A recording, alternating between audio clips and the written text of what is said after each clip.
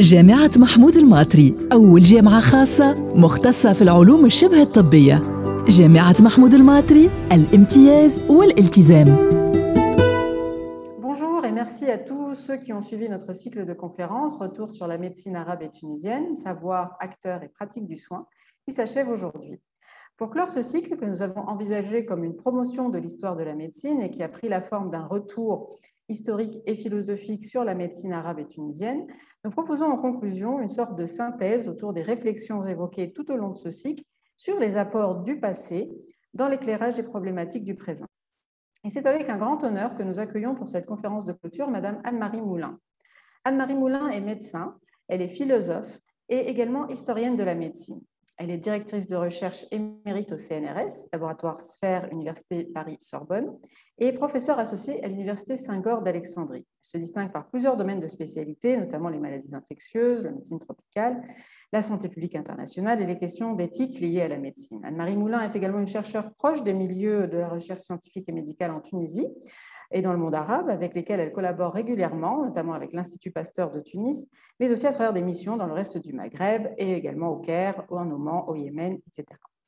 Elle nous invite aujourd'hui, dans cette conférence de clôture, à interroger les liens entre le passé, le présent et l'avenir des savoirs et des pratiques de la médecine, et à renouer le dialogue entre la médecine d'hier et la médecine d'aujourd'hui, en Tunisie en particulier. Une médecine tunisienne qui s'inscrit, comme nous l'avons vu tout lors de ce cycle, dans son histoire locale, régionale et dans une histoire plus longue, allant de l'Antiquité carthaginoise à la période arabo-islamique médiévale, de la Tunisie bellicale à nos jours, en passant par la période coloniale. Je remercie encore une fois très chaleureusement Madame Anne-Marie Moulin d'avoir accepté notre invitation. Et avant de lui céder la parole, je souhaite à nos auditeurs de bonnes vacances et à bientôt pour de nouvelles conférences. Donc bonjour à tous à Tunis. C'est pour moi vraiment un grand honneur de clore un cycle consacré à l'histoire de la médecine tunisienne au sens large, ici à l'université Mahmoud al-Matri. Je le fais aussi avec une certaine émotion parce que quand j'ai commencé mes études de médecine à Paris, comme El Matri, la faculté de Tunis venait juste d'ouvrir et les collègues tunisiens représentaient avec les Libanais euh, la communauté d'étudiants étrangers la plus nombreuse.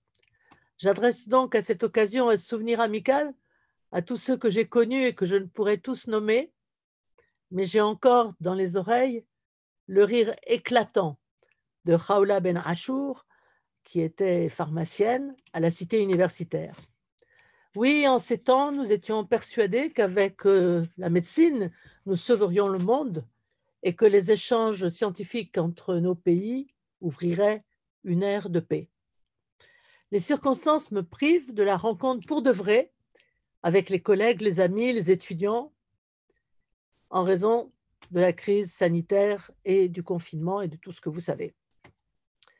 Cependant, le bon côté, c'est que ces drames secouent nécessairement nos habitudes et elles éveillent des liens nouveaux sur euh, la relation entre passé, présent et avenir.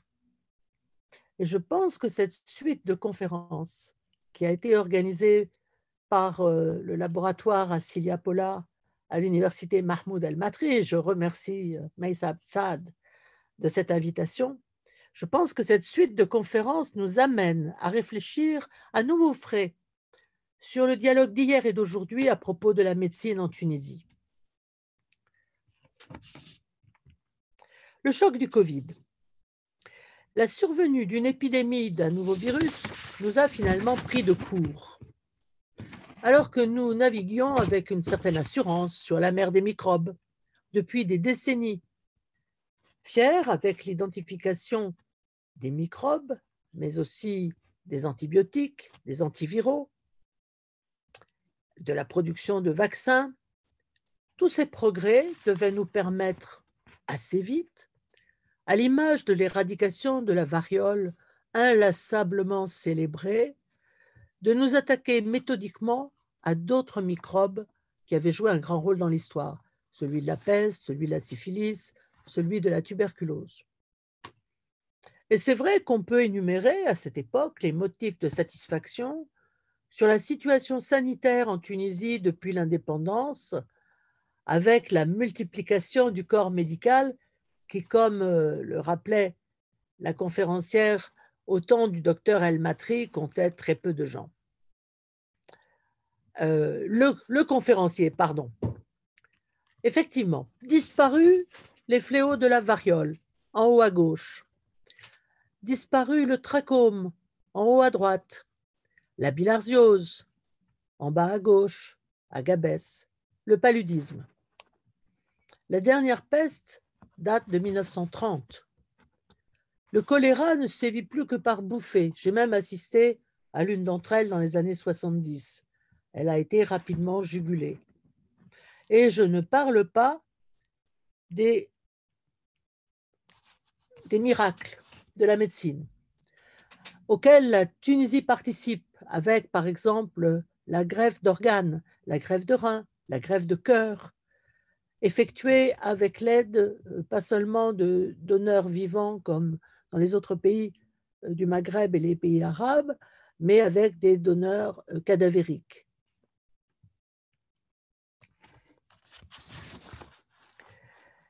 Donc, l'électrification, il faut dire qu'il n'y a pas que la médecine qui a joué un rôle dans cette amélioration spectaculaire de la situation sanitaire. L'école, l'électricité, l'amélioration de la condition féminine ont aussi joué un grand rôle. Mais encore une fois, le choc du Covid a été rude. La conscience d'abord du fait que l'hôpital, lieu de soins et de miracles, est aussi un lieu d'infection. C'est ce qu'on appelle les infections nosocomiales. C'est transmis sur les lieux et éventuellement par les soignants. C'est une situation qui a progressivement euh, s'est installée avec euh, la transmission du virus VIH, du sida par la transfusion, par les injections intraveineuses, d'ailleurs, de même que pour les hépatites B et C. Tout cela a été un choc. Mais l'arrivée du Covid, l'ébranlement d'hôpitaux insuffisamment préparés, insuffisamment équipés, a piqué notre orgueil. Et finalement, nous a conduit à considérer le passé avec euh, plus d'intérêt et moins de condescendance. Nos systèmes de santé, en particulier nos systèmes hospitaliers, et je dis nos, français et tunisiens, ont vacillé. Ils ont quelque peu été submergés, à des dates différentes dans nos deux pays, sous l'effet des vagues de virus. Et euh, ceci prouve finalement que malgré l'augmentation spectaculaire de l'espérance de vie, la situation demeure insatisfaisante. L'accès aux soins reste éminemment perfectible et les inégalités sociales ont été à la fois révélées et aggravées par la pandémie.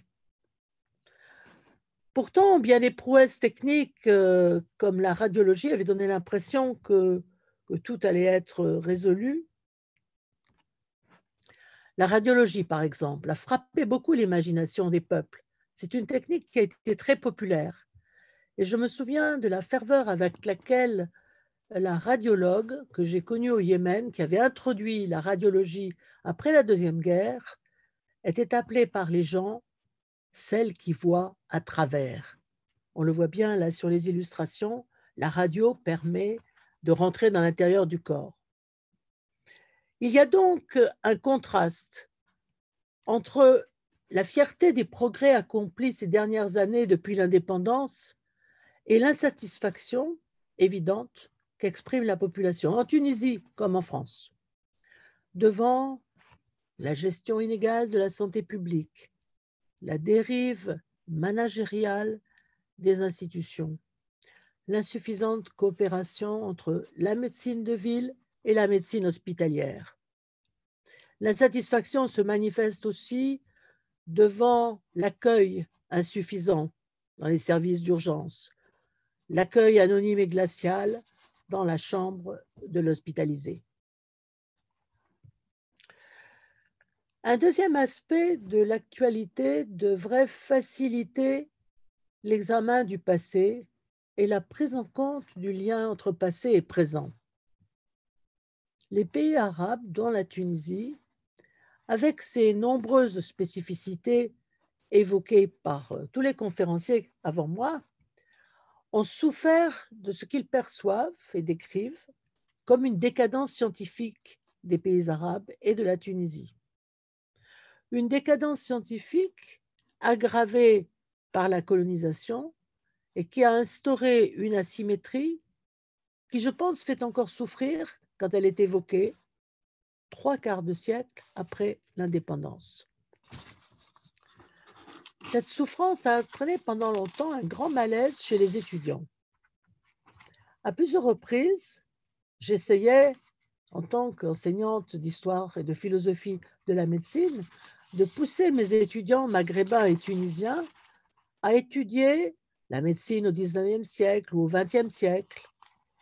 Et je constatais chez eux une espèce de coupure quasi schizophrénique entre ce qu'ils considéraient comme un âge d'or, le Moyen Âge, de la civilisation arabe et tunisienne, et puis l'actualité où il n'y avait plus qu'à suivre le courant principal, un courant occidental. L'âge d'or, pour eux, c'était par exemple l'école de Kérouan au IXe siècle qu'a évoqué le professeur Hamza Saddam. C'était une école qui, effectivement, a eu de brillants représentants, a envoyé des manuscrits un peu partout de par le monde. On a vu la carte à Moscou, Delhi, Paris, Londres. Après quoi, pour les jeunes, selon les jeunes, il ne pouvait y avoir que rupture, désespérance d'un avenir digne de ce passé glorieux. Et malgré mes suggestions, deux catégories. Soit en bon philologue, il choisissait de s'intéresser au Moyen Âge et de faire par exemple des traductions de textes inédits, sans faire le lien avec la période moderne, soit au contraire, ils se plongeaient, les médecins surtout, dans les dernières publications afin de sortir un article dans une revue à comité de lecture pour paraître au hit parade de l'évaluation numérique des publications. Et vous savez bien que dans ces revues, la mémoire ne dépasse guère une dizaine d'années. Cette période difficile que nous traversons est l'occasion pour moi de balayer l'histoire de la médecine tunisienne sous l'égide du regard de Tehuda Benchir, euh, qui a été la première femme médecin tunisienne. Et euh, cette période difficile nous donne l'occasion de remonter très loin. La conférence, la première conférence était consacrée à l'histoire carthaginoise et j'ai beaucoup appris. En particulier, je salue au passage le nom d'Acilia Pola, qui est le nom de votre laboratoire, retrouvé sur une épitaphe, pour le plus grand bonheur de tous. En fait, vous savez, il existe fort peu de noms de médecins femmes dans l'Antiquité. On cite toujours celui de Trotula, c'est une femme médecin à l'époque romaine, mais c'est controversé. Il y a encore quelques noms qui flottent dans la mémoire. Mais je pense que ce silence assourdissant nous dit quelque chose. Il nous rappelle l'inlassable activité qu'ont déployée les femmes de tous les temps pour le soin des enfants, des malades, des handicapés et des vieux. J'ai bien noté au vol le terme punique de Rafa, au sens probable de médecin, rapproché d'une racine qui signifie raccommoder, réparer.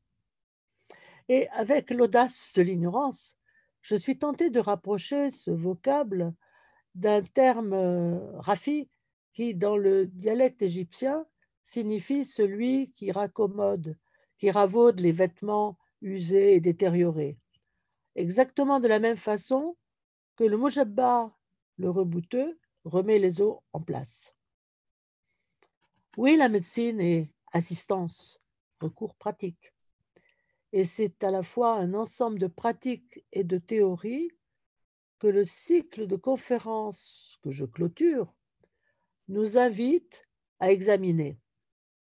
En fait, nous remontons dans le temps avec euh, un style de brasse coulée, comme celui des oulémas du XIXe siècle, selon le chroniqueur Ibn Abi Diaf. Il nous dit qu'ils adoptaient une sorte de brasse intellectuelle. On dit bien bas, bas en arabe, la brasse. On dit bien que nous embrassons des connaissances. Eh bien, nous avons, pendant ce cycle, embrassé des connaissances largement et même tendu la main, une autre expression employée par Ibn Abi Diaf, pour désigner la quête des connaissances par les savants. C'est cette démarche, finalement, que je voudrais retrouver en rappelant l'ISNAD, la chaîne de transmission des savoirs. Je sais bien qu'il s'agit surtout des savoirs religieux, mais j'aime à étendre ce, ce terme de silsila et d'isnad aux connaissances en général. Et c'est pour ça que rapidement j'évoque cette généalogie dans laquelle nous nous situons quelque part sans discontinuité. C'est là mon point important. Voilà la triade de la médecine antique, telle qu'elle est représentée complètement mythiquement, car bien sûr, ces trois hommes ne se sont jamais rencontrés. Un musulman figure parmi eux, Ibn Sina, qui est arabophone, même s'il est né euh, dans l'Ouzbékistan actuel.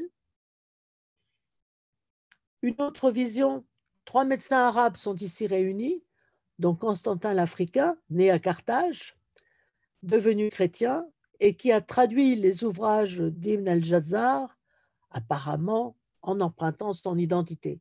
Mais l'essentiel, c'est peut-être que ces ouvrages nous soient parvenus.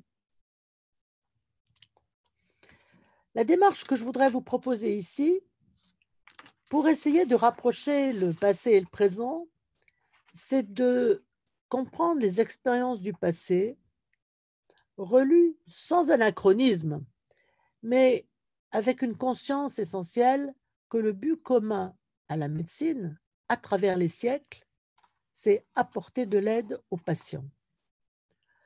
Et comment lire le passé, c'est la question que je voudrais poser, autrement qu'en l'exaltant sans, rigueur, comme ayant déjà tout appris et tout montré, ou bien au contraire, le critiquer comme un ensemble d'idées ridicules auxquelles les gens s'accrochent obstinément. Je pense que l'épidémie de Covid nous déstabilise et elle nous aide d'une certaine façon à comprendre comment les médecins raisonnent dans une situation d'incertitude qui est la nôtre et qui l'est encore à bien des égards.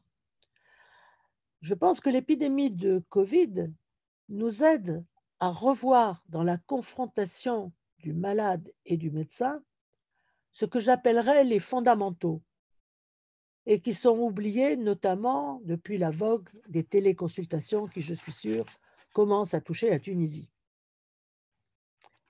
Pour moi, l'examen du malade par le médecin reste une rencontre où le praticien utilise ses cinq sens.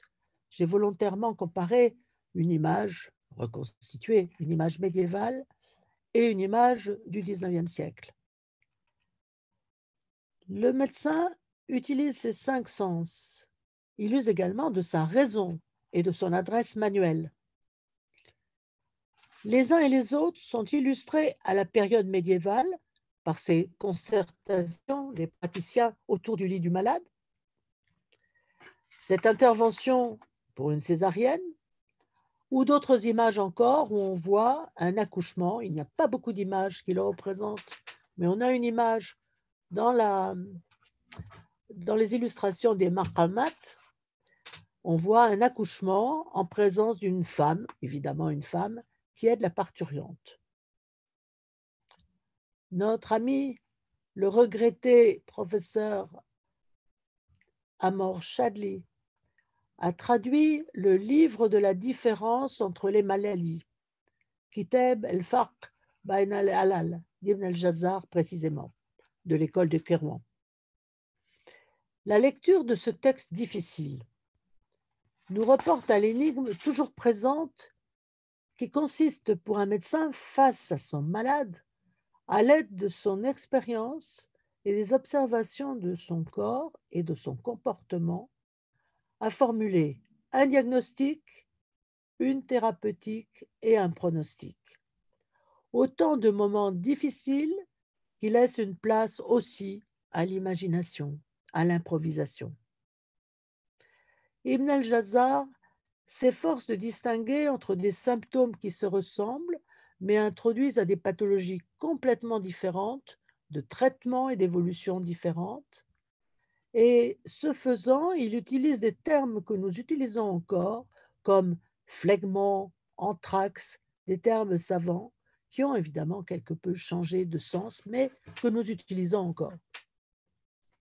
C'est ainsi, par exemple, l'aspect différent des pustules, des boutons, leur siège et la façon dont ils apparaissent successivement à la surface du corps, qui a permis à Razi, à Rey en Iran, de différencier entre la variole Joudari et la rougeole Hasba, comme l'a rappelé Mernaz Katouzian Safadi.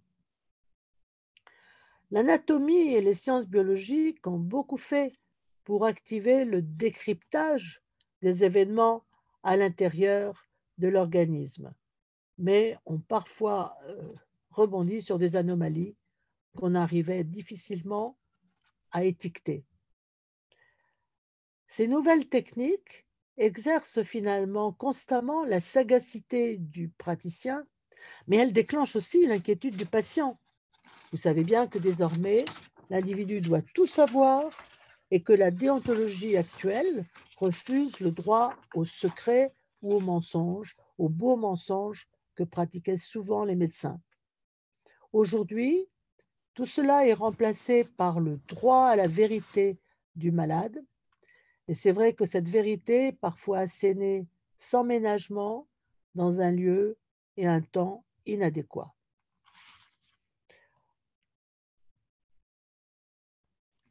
J'ai voulu évoquer, euh, là encore, cette longue tradition de pratique médicale avec l'abaissement de la cataracte, une technique des kahalines, de le sulfure d'antimoine, qui sert pour améliorer euh, l'éclat du regard, mais qui pouvait être aussi utilisé comme un désinfectant de l'œil. Toute cette imagerie qui a inspiré l'art contemporain peut évidemment inspirer aussi la peur, la peur de ce qu'on va découvrir à l'intérieur du corps, la peur, en quelque sorte, d'être percé à jour par un regard étranger.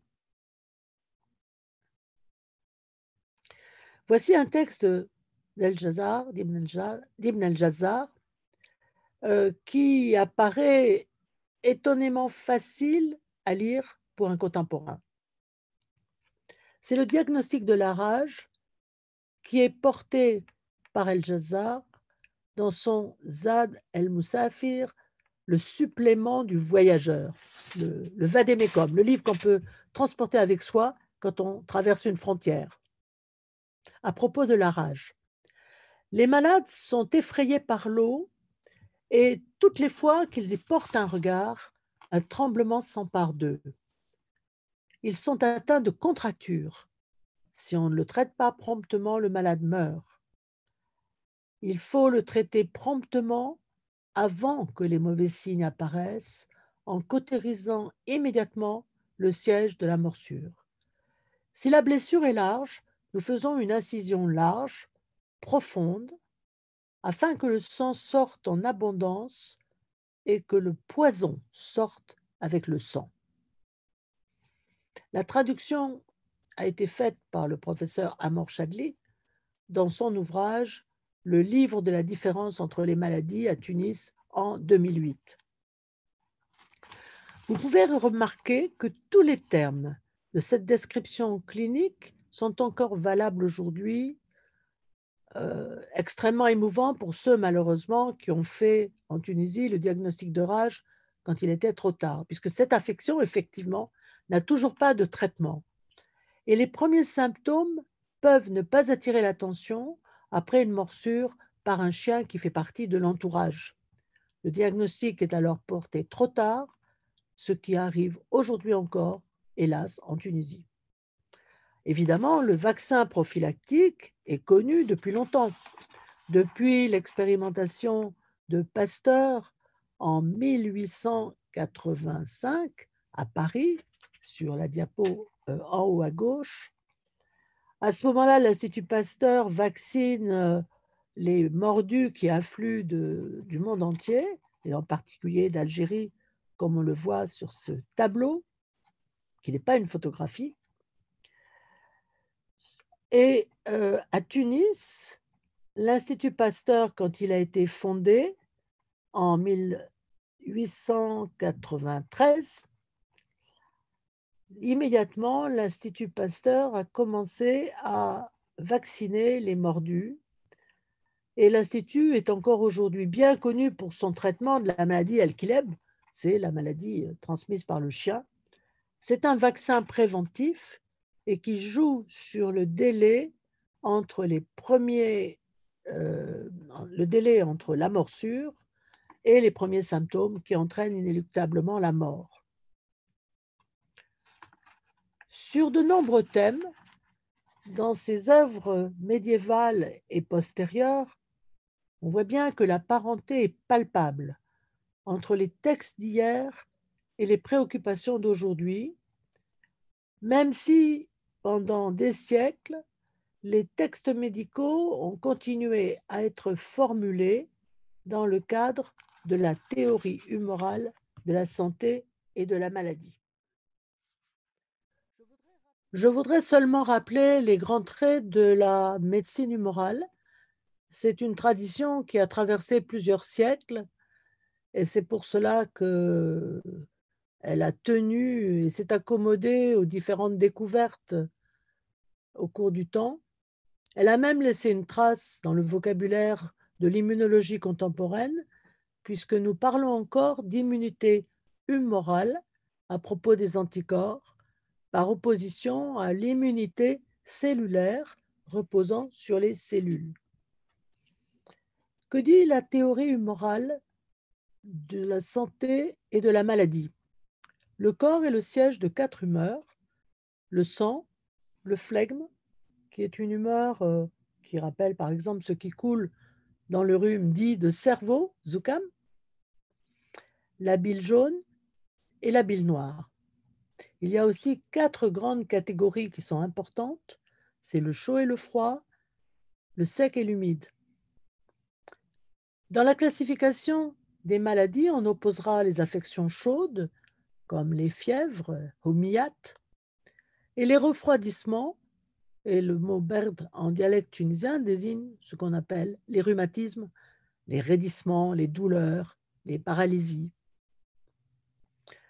L'ensemble de ces humeurs circule en permanence dans le corps et l'alimentation entraîne aussi en permanence une menace de déséquilibre entre le manque et le trop-plein, la pléthore, le terme médical savant.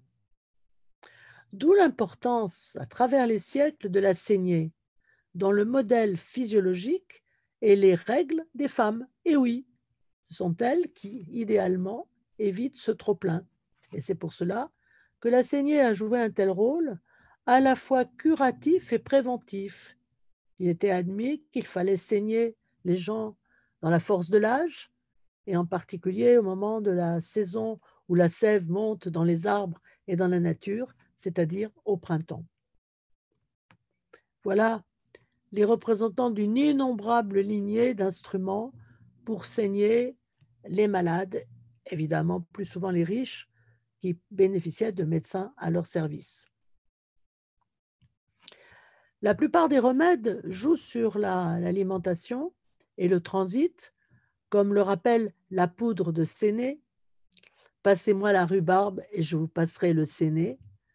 Tout cela rappelle que l'alimentation joue un rôle fondamental dans la détermination de la santé et de la maladie, car pour la médecine ancienne, comme finalement pour la médecine d'aujourd'hui, l'essentiel est moins de traiter la maladie que de la prévenir. de garder la santé plutôt que de la regagner.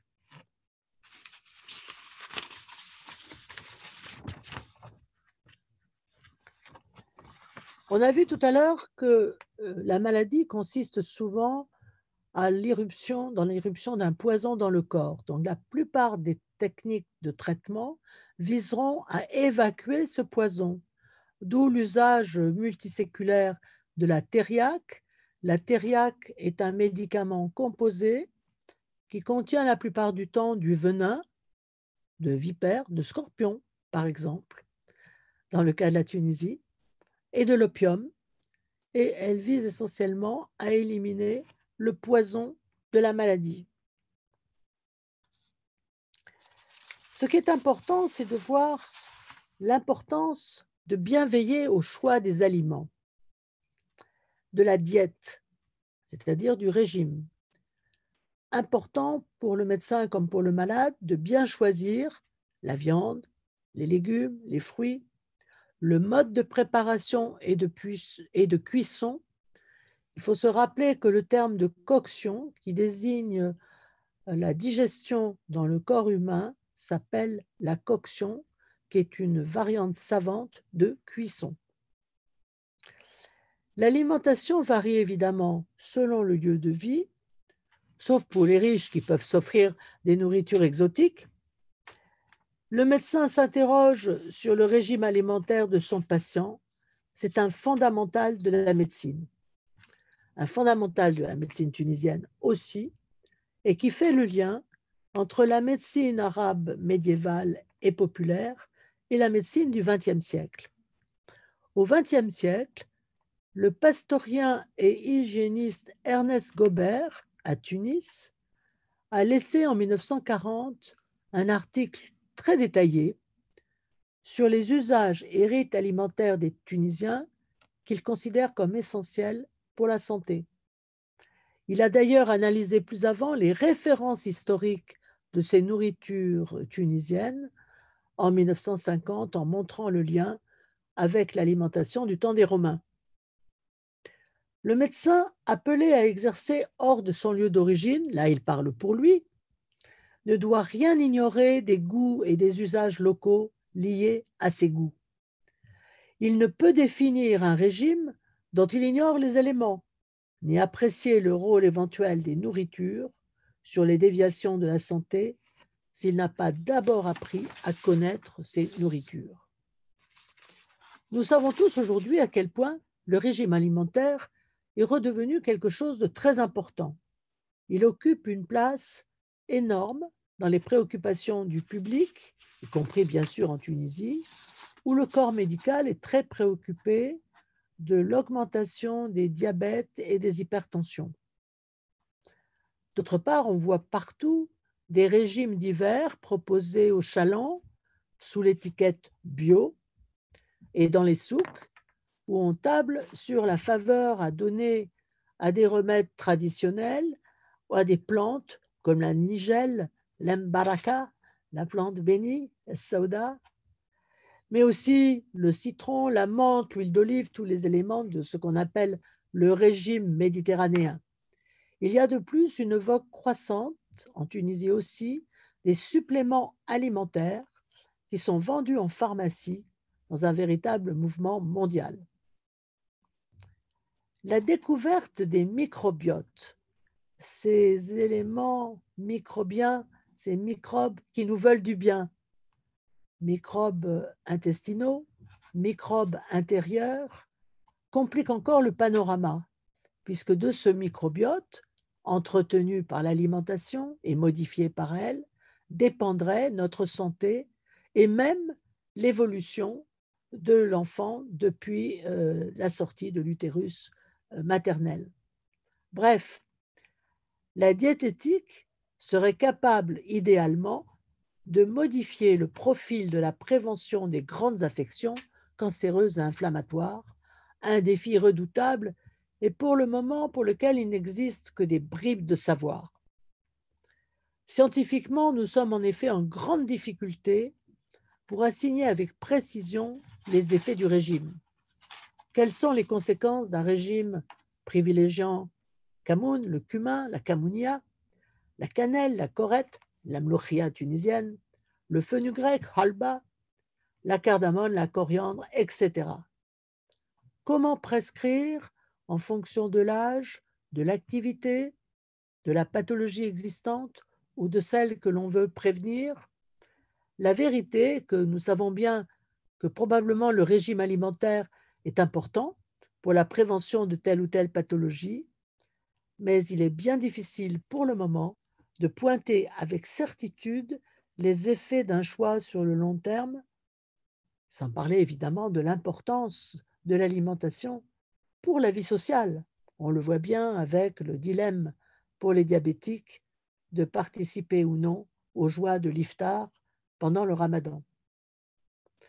La médecine contemporaine en Tunisie peut dialoguer avec le passé, mais finalement elle est, comme en France et ailleurs, en difficulté pour identifier avec rigueur les éléments d'un bon régime, à l'heure où de toute façon le fast-food fait irruption dans les rues tunisiennes et éclipse les beignets et les fricassés. Nous retrouvons cette incertitude avec l'interrogation du médecin d'aujourd'hui devant des plaintes dont la valeur sémiologique est difficile à évaluer. Prenons le cas du vaccin contre le Covid. La plupart des vaccinés décrivent des troubles divers, épuisement véritable, maux de tête, insomnie, douleur au point d'inoculation, gêne respiratoire. Dans la majorité des cas, les signes disparaissent. Revenant aux descriptions d'Ibn el-Jazar, nous retrouvons l'intense difficulté à apprécier par-delà les siècles ce qui se passe réellement dans le corps.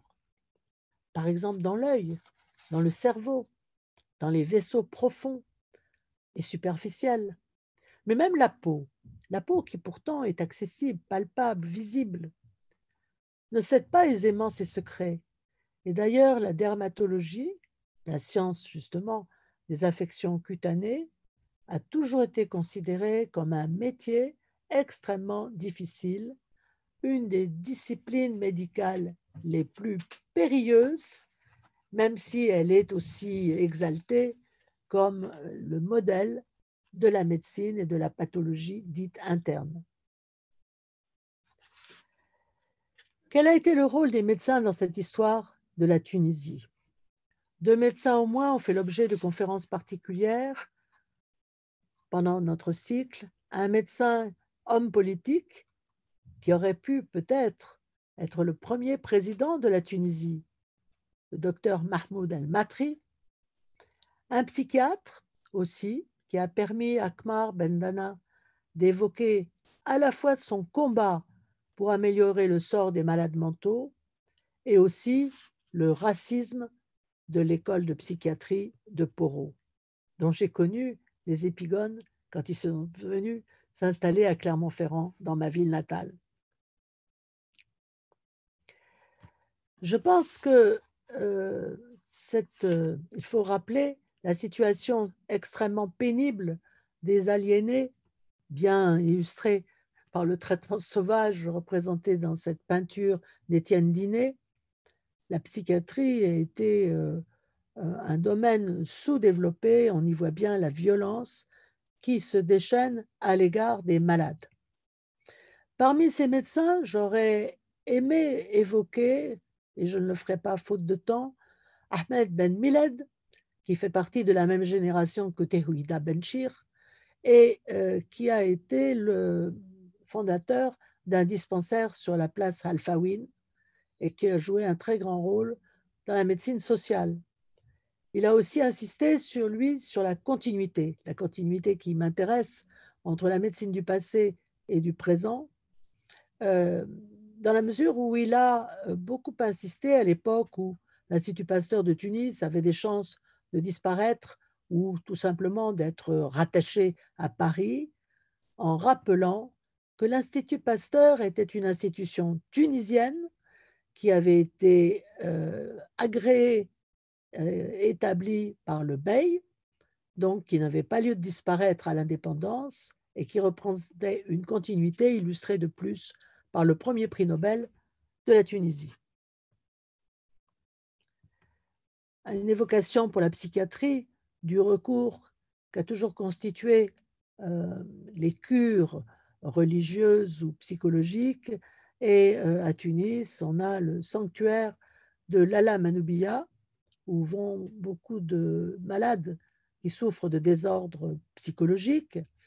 Lala Manoubiya est la protectrice de Tunis. Elle a eu personnellement une vie hors du commun, pas du tout la vie classique d'une femme euh, retirée. Et son sanctuaire principal à Tunis, qui est ouvert au public, est situé tout à côté de l'asile psychiatrique de la Manouba.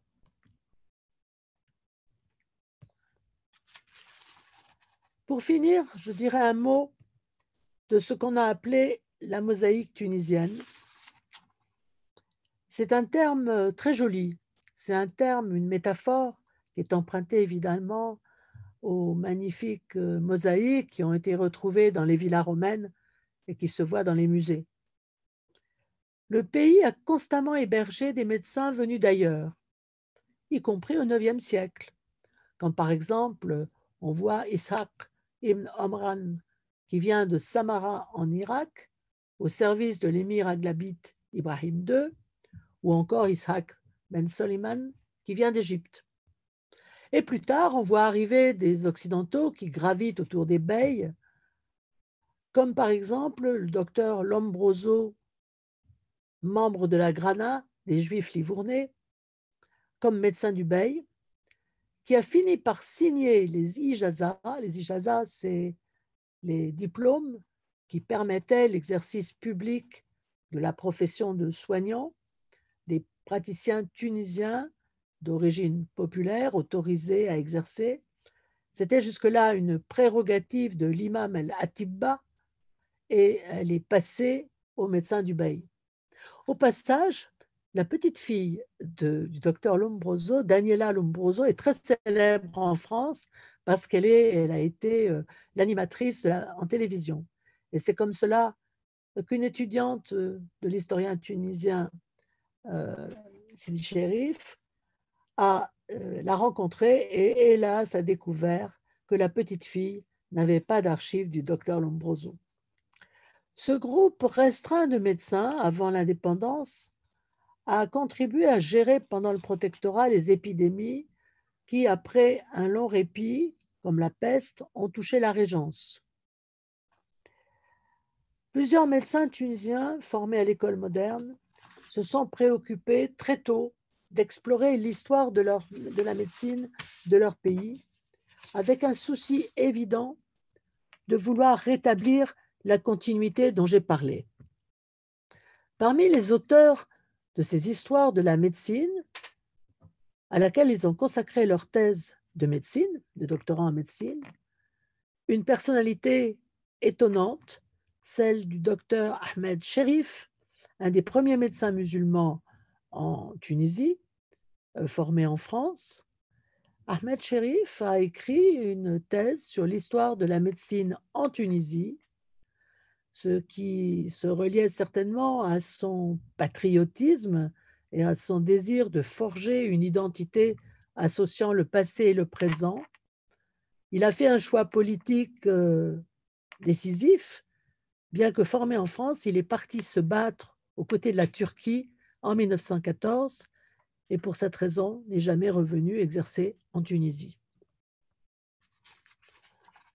Il y a aussi une autre personnalité euh, à côté de Ahmed Ben Milad, à laquelle j'aurais aimé consacrer quelques, quelques temps, il y a Béchir Din Gizli.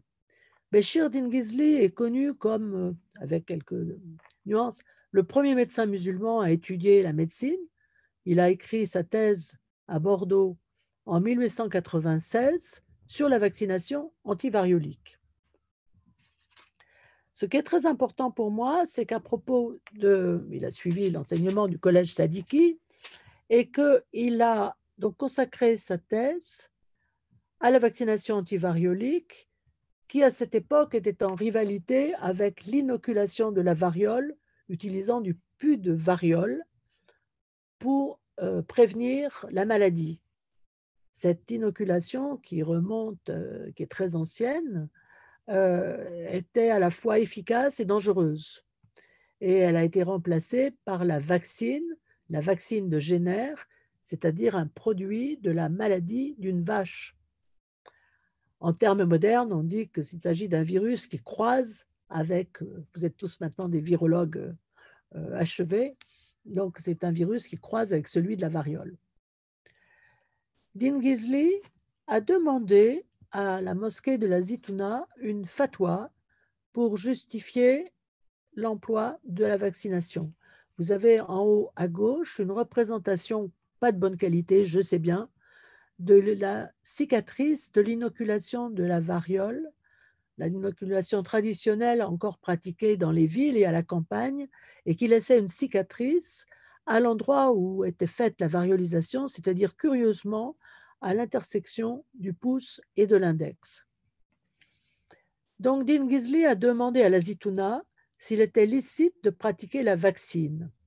Et ce qui est intéressant, c'est que euh, cette fatwa obtenue spécifiait, je trouve ça de grande actualité au moment où la vaccination contre le Covid fait l'objet de tellement de discussions, en particulier en suivant le format actuel de la discussion sur les rapports entre le bénéfice et le risque.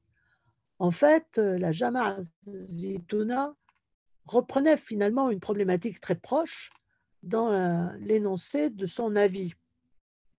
En effet, la fatwa se prononçait pour la vaccine en raisonnant par analogie sur le fait qu'il valait mieux affronter un petit mal, éventuellement les, effets secondaires immédiats de la vaccination, pour en éviter un plus grand, une maladie qui peut être mortelle. La fatwa se prononçait aussi sur l'emploi d'un matériel animal et la vaccine, le pu d'une maladie de la vache, et pour éviter une maladie humaine souvent mortelle, les oulémas de la Zitouna concluaient que c'était tout à fait licite. Le docteur Dingilzi a été correspondant de l'Académie de médecine à Paris. Il a écrit de multiples communications sur des sujets très divers, en particulier sur la communication médicale dans les cafés. Il a dénoncé les effets du théisme, l'excès de prise de thé très sucré, de takrouri, de hashish, euh, sur le diabète, sur la tuberculose et la transmission de la maladie, l'interdiction de cracher dans les rues, etc. Dingisli a été très oublié par la Tunisie indépendante en raison de son lien à la fois avec les autorités occupantes et avec l'aristocratie bellicale. Deux raisons pour l'oublier. Cependant, la mosaïque tunisienne, la mosaïque des religions, des nationalités, n'a pas totalement disparu avec la fondation de la faculté de médecine de Tunis en 1964, puis les facultés de Sousse, de Sfax et de Monastir, et je sais que maintenant, il est question qu'il y ait une faculté de médecine à Kasserine. La mosaïque s'est prolongée avec la coopération médicale internationale. On a vu aussi survenir des malades étrangers en Tunisie attirés par les compétences locales et le traitement bon marché et d'autres mosaïques apparaissent. Les médecins tunisiens partent à l'étranger. La santé globale universelle, dont l'OMS est officiellement le champion, masque en fait la diversité des itinéraires et des échanges et aussi des formations. Les médecins tunisiens aujourd'hui se déplacent sur les deux hémisphères où ils sont particulièrement appréciés pour leurs compétences et leur polyglottisme. Ils sont appréciés en France où ils aident à combler les déserts médicaux que notre politique a imprudemment créés. Je voudrais conclure avec cette euh, diapo et le rappel de l'arrivée de la doctoresse à la fin du 19e siècle, en haut à gauche, et cette photo de la promotion, vous voyez, vous pouvez voir Tawhida Benchir en blanc au milieu des étudiants en, costume sombre et Ahmed Ben Miled au deuxième rang. Je voudrais conclure sur cette renaissance aujourd'hui d'une médecine des deux rives, où les Tunisiens dispensent largement leur savoir, en souhaitant qu'ils soient à même de réparer la santé de leurs malades là et ailleurs, et en souhaitant que les États concernés veuillent bien leur en donner les moyens dans un but de santé globale, mais aussi de paix sociale, nationale et internationale. Je vous remercie.